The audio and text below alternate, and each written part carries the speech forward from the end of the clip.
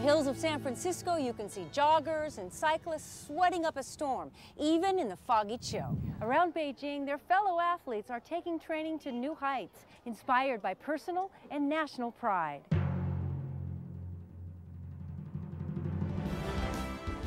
In this episode, an exclusive look at how the Chinese national gymnastics team prepares for the 2008 Beijing Olympic Games, and personal stories of two world champions, their talent, drive, and the pressure they and their families will face when they compete before millions of fellow Chinese. Then Chinese Wushu, or Kung Fu as it's known in the US, is waging its toughest battle, the battle to become an Olympic sport. Finally, how a pentathlon world champion multitasks for a medal at the Beijing Games, the first Olympics ever held on Chinese soil. All coming up now on Beijing Are You Ready?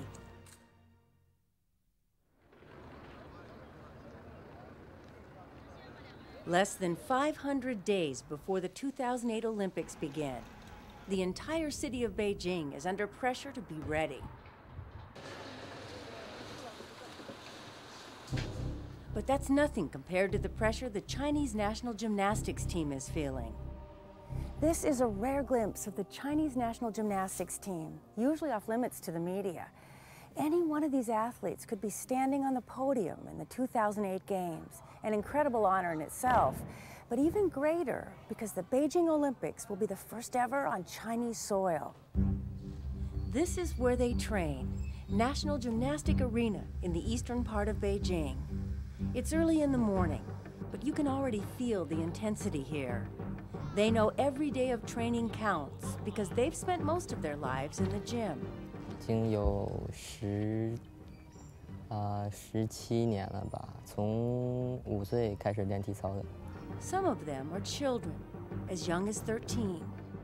练了体操以后，跟平常的孩子所接触的东西不一样，经历的也不一样。 我们是从小就等于是自食其力，自己很多东西都要去自己做，不像平常的孩子都有父母在帮助他们。虽然说有的时候很羡慕他们的快乐时光，然后有时候可以放长假，嗯，每天可以跟父母天天在一起啊，有时候还可以撒娇啊。跟我们比起来，他们确实很幸福，但是我们也有我们的幸福，因为我练了体操以后学到了很多东西，然后呢交到了很多朋友，然后呢还认识了教过我的这么好的教练。 The senior citizens are in their early to mid 20s and have never known what it's like to be a carefree teenager. 我想我们以后可能会过上普通的生活，而且我想我们现在过的生活可能普通人是没办没办法感受的，因为我们这种生活是普通人不能够触及的。 But until their retirements, they can look forward to six days a week of intense training. The work is hard, and there's evidence the training is paying off in a big way. In 2006, both the Chinese men's and women's teams won the overall world championships. So the expectation and pressure to win at the Olympics is beyond high. Then there's pressure from the team's past glory. It stares them in the face every day. The team's 51 Olympic and World Championship gold medal winners are honored in the gym's most prominent place. Gymnasts also walk among legends who've already achieved the dream and want to do it again, like Olympic gold medal winners Teng Haibin and Yang Wei. But even a gold medal is no shield from Olympic pressure. 每次拿完冠军，从走下接氧台那一刻开始，都是从零开始的。而且我们零八年的选拔也是靠积分，不是靠上一届的冠军成绩。以前的一些成绩基本上嗯都不太管用。 Zhang Nan won a gold medal in the 2006 Artistic Gymnastics Championships. She's the team captain and has the respect of the younger gymnasts. But she's also competing against the youngsters for a chance to make the 2008 Olympic team. 零四年的情况可以说是我是我在奥运会名单里可以说是，嗯，基本上已经是定好了的。但是这一次我是要靠自己的努力，去一个一个跟他们小的去拼。And the younger gymnasts have bodies that are more flexible and less punished by time. 现在对我来说压力确实很大，因为现在我们一些小的已经，就是说开始逼得我很紧，然后他们的水平也在不断的提高。因为我的现在的身体情况还有伤病情况都不是很好，所以说这次对我来说准备奥运会也是蛮艰难的。Sometimes the pressure is almost too much for even the toughest athletes. 去年对我来说，一开始是打算不练的，但是一想到自己还没有登榜，自己的梦想还没有实现，所以呢，就要就选择了坚持练下去。Coaches can nurture and motivate an aging champion to reach for gold one more time. 不管今年结果怎么样，能不能上世锦赛，自己也会坚持到零八年。等到零八年的名单宣布的时候，我在名单内，争取上了奥运会。在比奥运会的时候，不管怎么样，就是说自己都好好的拼一把。然后，如果要是没有争取上奥运会的话，嗯，我想的是选择退役。But the coach's support also adds to the pressure an athlete feels. 嗯，因为我的强项是平衡木，但是往往很多有很好几次的很好的机会，我自己都没有把握住。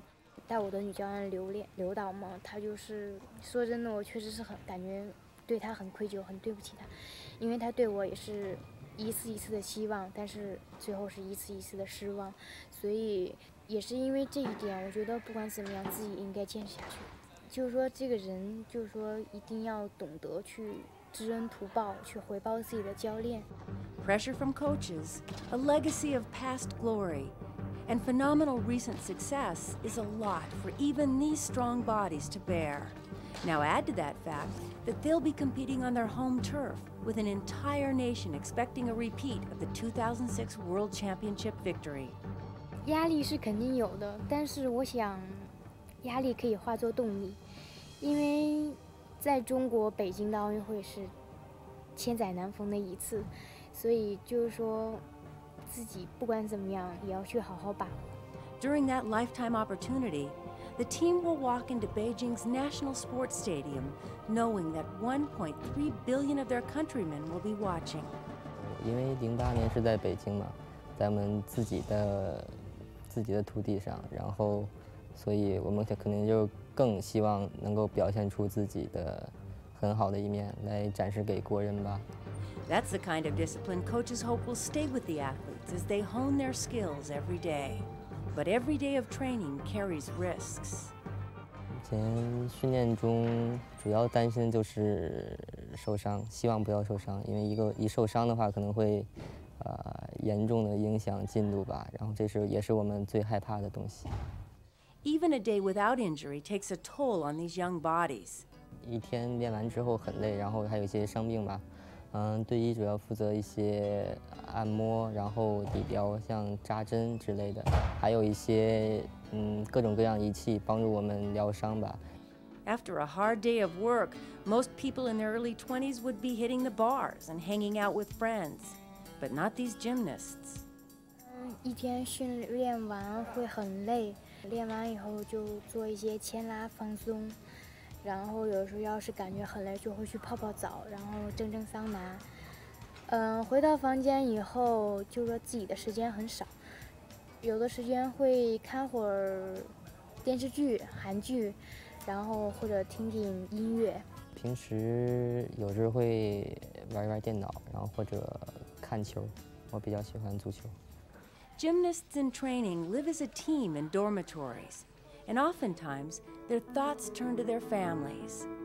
呃，像我的家人们，他们都是尽量给我减压吧，然后他们不需要有多好的成绩，只是希望我，嗯，尽量比好自己的动作就可以，然后不要受伤就好了。Teng Haibin still has a bedroom at his parents' apartment in Beijing. and from the photos in the living room. It's obvious he has a very big place in their hearts. There is a short term cure between visits from their son. 这个有时候我们见不到他，或者是想他的时候，经常看看他，呃，小时候的照片啦，或者是这个这个比赛的金牌，或者是我们给他录下来的这个比赛的现场。 it's hard for them to believe the little boy in these photos would win Olympic gold in 2004 and try again in 2008. 在幼儿园的时候啊，比较这个 爱活动或或者就是爱跑跑，爱那个身体条件又挺好，结果让那个教练就给挑走了。挑走了以后，就是一步一步的练呗。教练也挺喜欢他，他开始也 就是也也是玩儿，一块儿跟孩子们一块儿玩儿玩儿玩儿，越玩越在越喜欢这个，越玩越喜欢这个。哎，慢慢的他这个就是对这行业挺挺喜欢的。Soon Tung Hai Bin devoted most of his days developing his body, but his parents were concerned about developing his mind. 他上五六年级的时候，那会儿我们家长也有一个十字路口，就觉得他是继续练体操呢，还是上学？假如练不成功，学习也就耽误了。最后呢，还是呃通过跟人教练也商量，人教练就觉得滕海滨比较有潜力。还是应该走这个体操之路。学习呢，就是他那会儿就是上半天，半天上学，半天训练。The half and half strategy paid off as Tung Hai Bin began winning national gymnastics competitions. 第一次全国比赛，呃，拿了个拿了三块金牌，还发了一个这个就是玻璃的陶瓷的一个山羊杯的一个花瓶儿带回来。呃，挺高兴的。结果，呃，不小心掉地给摔碎了，一片一片捡起来带回家来。哎，我们看着也挺高兴。他的第一次比赛的这个成绩，还有这个奖奖杯，我们就一片一片的给他粘起来。But once Teng Haibin made the Chinese national team, it wasn't his trophies that were being broken, it was his body. And there's nothing a parent can do to put it back together.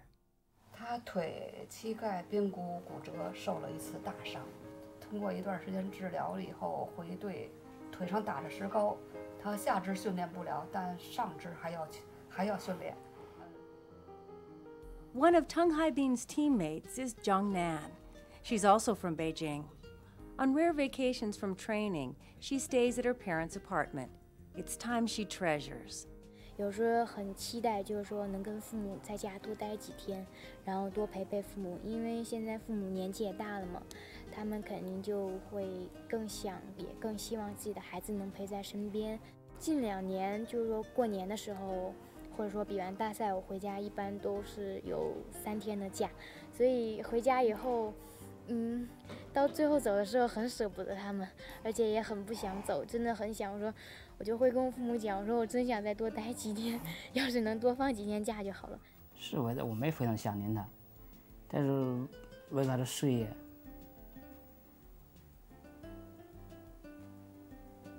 这点困难也说不了什么吧。Zhang Nan also began her training at five years old. Back then, her parents never envisioned her as a world-class gymnast.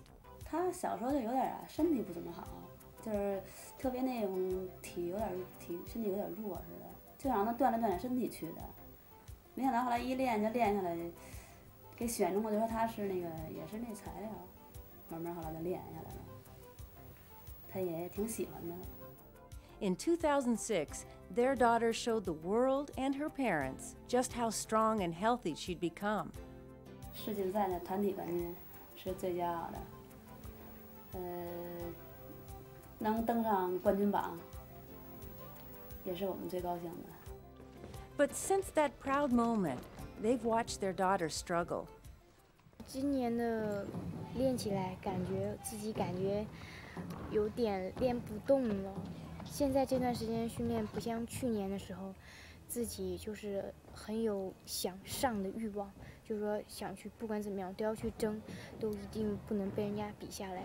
我觉得运动员不可能这，在他训练生涯当中会一直很顺利的，因为他总会有遇到低谷的时候，往下走的时候。所以呢，就在这段时间里，就看自己去，嗯，用什么样的心态去面对，怎么去自己能想办法去解决。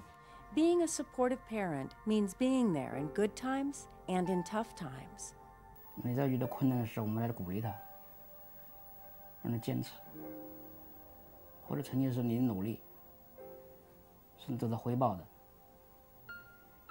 有时候我们觉得，一个人有一种这种精神吧，就是小时候老想，你干什么就是一种精神的坚持。In 2008, the ups and downs could be more extreme than Zhang Nan and her parents have ever experienced before.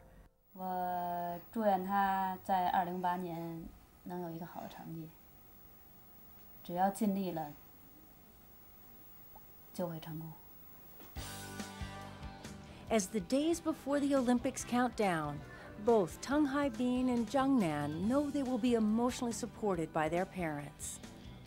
But the training will get more intense with each day for them and all their teammates. The stakes will get higher. So will the sacrifices and potential for heartache. That's the price an athlete pays for daring to have the Olympic dream. The reward for all the pressure, pain, and sweat, joining the ranks of these Chinese champions. Wushu. You may not know it by name, but if you've ever watched a kung fu movie, you know what it is. In Chinese, Wu means martial, Shu means art. 武术是一种中国传统的一个体育项目， 然后它呢，所不同于其他项目呢，它蕴含着中国的文化在里面，它是发源于民间。 Wushu is known in the West as Kung Fu. And one of the most popular forms of Wushu is Tai Chi. You can see Wushu practiced all over China by young and old alike. Wushu is a big part of China's cultural heritage. Those who practice it were hoping it would be included as an Olympic sport. But getting a new sport added proved a difficult task. The Summer Olympics already feature two martial arts judo, which originated in Japan, and taekwondo from Korea. Wushu athletes think this Chinese sport should be represented as well. 作为一个中国的武术运动员，呃，我相信，呃，包括在国际国际上各个国家的武术运动员都很期待着武术能成为奥林匹克 家的一个分子。 Unlike judo and taekwondo, most wushu competition is a solo sport. It's similar to gymnastic floor exercise. The athlete's performance evokes a battle with an imaginary opponent. Wushu artists demonstrate a series of required moves, along with some original choreography. As with gymnastics, the final result is scored by judges. Training can be demanding. World class wushu athletes often start training as children. Like Chinese national team champions Zhao Qingjian and Liu Xiaolei, they spend six days a week practicing their skills. But to them, wushu is worth it. 作为这个武术，它的特点在于，呃，它它有很丰富的表演色彩，也有很强的竞技能力。 比如说，它可以给我带来一种，呃，在韧性上、在意志上、在生活上，都给我很大的帮助。 Two popular ways for wushu athletes to express themselves are with a sword called a dao or with a long wooden stick called a gun. As with any other demanding sport, a lifetime of training eventually leads to injuries. 膝盖、腰、踝、肩， 大部分都能受伤。比如说，我在我在练习当中，呃，转体七百二十度，呃，下来接一个劈叉的动作，然后当时也是技术要领掌握的不是很好，所以我的腰，然后持续了一年多没有好，就是说一条腿蹲下去都不敢蹲。But despite the inevitable injuries, wushu can offer a longer career than other high intensity sports. Zhao Qingjian is 30 years old, an almost unheard of age for a male gymnast to compete. 呃，武术运动员好在是他的从小基本功，呃，柔韧性，对我基础打得好，呃，运动员再会自我保护意识要强一下，可能应该会延迟的更长。比如说我在我们武术运动员当中，我的年龄应该早就是一个退役的运动员，但是我一直保持着我身上没有没有伤病。 Even after their professional career ends, many athletes continue the wushu way of life. 如果是太极拳，或者是比较慢一点的太极剑，这样慢一点的套路的话，七十岁、八十岁都可以一样练。Athletes nearing the end of their prime years had hoped their sport would be included in the Olympics. But it won't happen in 2008. The Olympic Committee decided against including wushu in the Beijing Games. However, the committee did make what is perhaps a gesture of respect to the ancient Chinese sport. Olympic rules require no other championship competitions take place in the Olympic City during the Games but they relaxed their rules to allow the International World Wushu Championships to be held in Beijing at the same time as the Olympic Games. The committee stresses the Wushu competition has no affiliation with the Olympics. But Wushu athletes still dream that one day their sport will become an official Olympic event.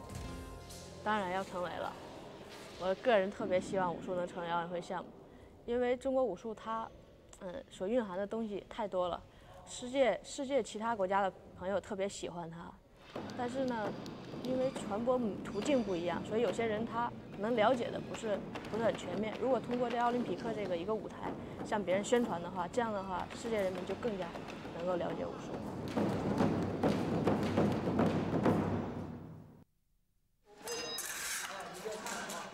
Fencing, it's a demanding Olympic sport. Now imagine training for fencing plus four other sports at the same time. It sounds impossible. At the Olympics, there's one event that requires expertise in five areas that have nothing to do with each other the pentathlon. This event combines fencing, swimming, horseback riding, pistol shooting, all capped off with a cross country run. The five sports seem completely unrelated, but there's a reason they're part of one event. The modern pentathlon was designed to evoke the experience of a soldier escaping from behind enemy lines. A soldier might have had to fight off his enemies using a pistol and sword, then ride a captured horse over obstacles, swim across a river, and finally run three kilometers through a forest. Chen Zhenhua has never served in the military, but he's one of China's pentathlon soldiers. He finished 16th in the 2004 Olympics, but he won the 2005 World Championship. He spent years training for the 2008 Beijing Olympics. What is it about the pentathlon that made you like it so much?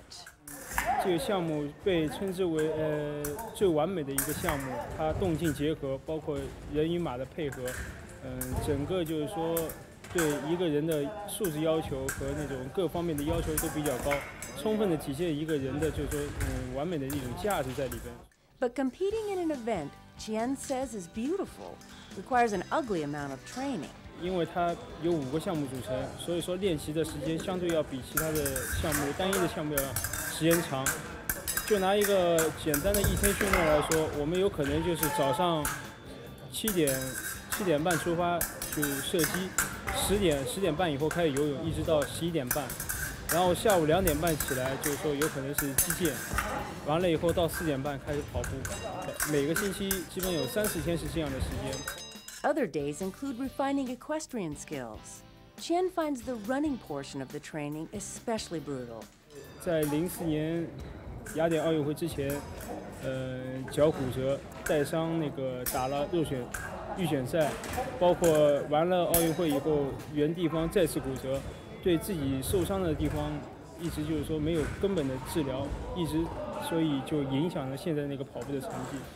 Like all pentathletes, Chen is better at some events than others.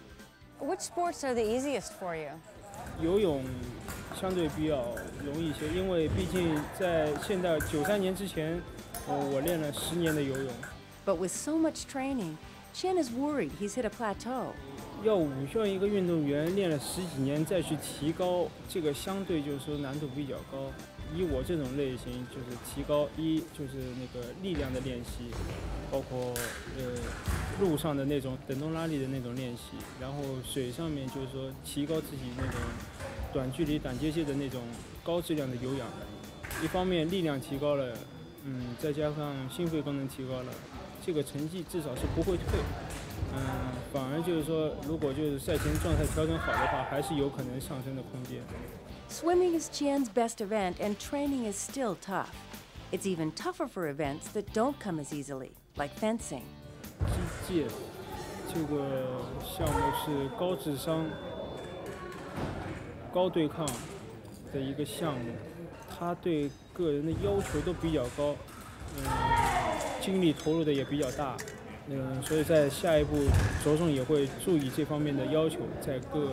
击剑上面怎样如何把自己的那种注意力提高。Pentathlon training can exhaust an athlete, leaving him vulnerable to instant defeat in a fencing match. 注意力坚持的不是很久，会造成很多就是说无谓的失分。Concentration is critical because it's the only pentathlon event where you compete one-on-one, face-to-face. 击剑比赛只要带上护面，就不用考虑太多对手是怎样，因为他是我的敌人。嗯，尤其像我们五五项是只打一届，他对我我们的要求更高。反正一届一分钟之内，不是他死就是我亡。Kill in a sporting sense, of course. Thankfully, the pistol competition is not man against man. It's man against a target. 每个人在站到靶位上的时候，只有你自己一个人。不管你发生什么事情，天塌下来也只有你一个人去去在打射击。所以说，我认为射击它首先是一个动脑子的项目，并不是说一味的去打或者是怎么样就能提高。Chen believes he can focus on the target, but he's worried that his country won't focus on the pentathlon. 呃，欧洲一些国家，他们对武项的那种认识程度，毕竟他们发展了有有近百年的历史，而中国只是刚刚起步。呃，作为我来说，希望能够在零八年那个奥运会是更多的人来关注现代武项，来支持我们。There is, of course, one way Chen Zhenhua could interest China in the pentathlon by emerging from behind the pentathlon's enemy lines with a gold medal.